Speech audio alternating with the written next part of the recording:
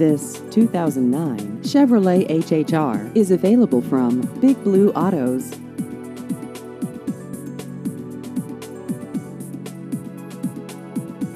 This vehicle has just over 90,000 miles.